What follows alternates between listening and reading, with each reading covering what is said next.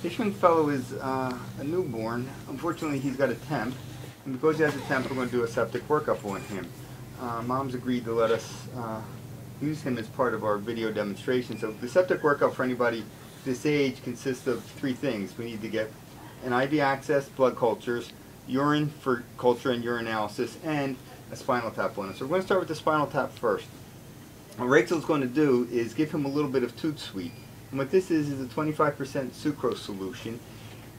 It's uh, basically within a couple minutes will make him a little bit sleepy. Now it doesn't make him completely sleepy, but it slows him down a little bit to make it a little bit easier for him to tolerate the procedures that we're going to do on him.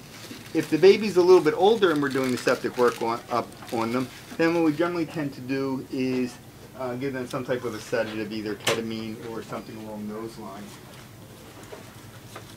Now, first thing we're going to do is just kind of take a look at the back of him and see if we can figure out where we're going to go. Here's his iliac crest. We're going to drop straight down from the iliac crest. Now, the most important thing, though, is uh, for the holder to be able to position him in a number of different ways. And when you're holding the baby, there's a couple things you have to worry about. There's this plane, this plane, and this plane. And what you'll see is when uh, Rachel and Nicole hold him, they're going to kind of flex him this way.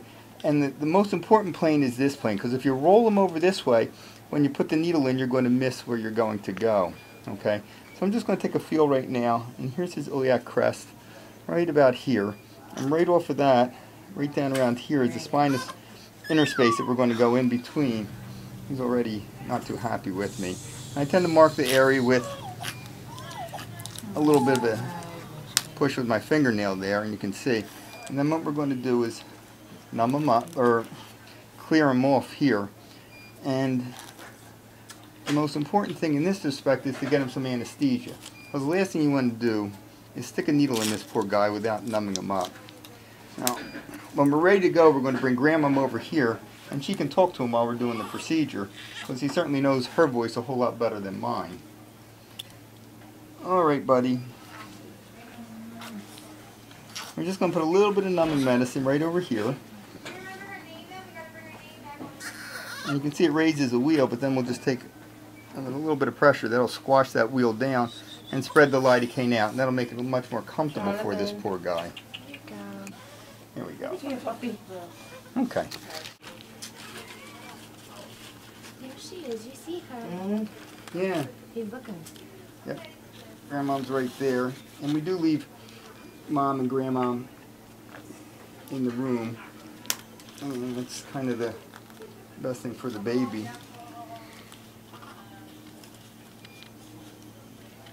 Okay. Papi. Papi.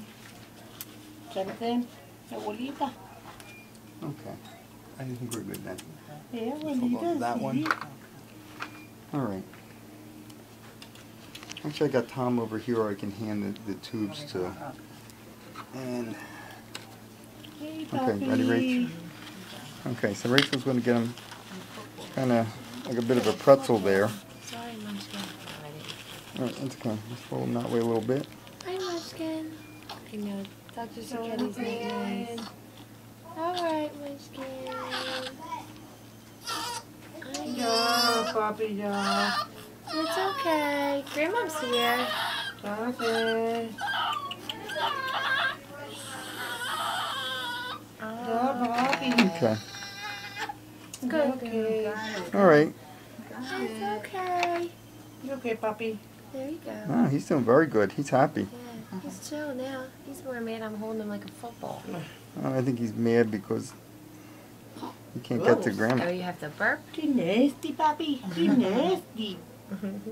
He's looking for you. Now you can see he's a, a little on the the slight side, so we didn't have to go in quite so far. Hey, Munchkin.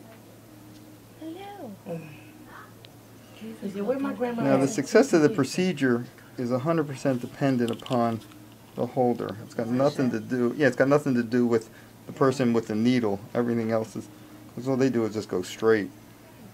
It's your ability to hold them still, and then you always put the stylet back in before you remove it. You Take that out. Yeah, he did great. That fluid looks nice and clear. Uh, I'm gonna just give you that and straighten them out a little bit. Thank you, Rachel.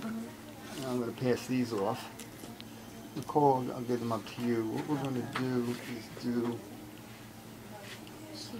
You're the puppy. This looks nice and clear, guys, Hey. which is good. Good. Yep, that's good for him. What's up? Did that sugar think- kick in and you're a little sleepy now?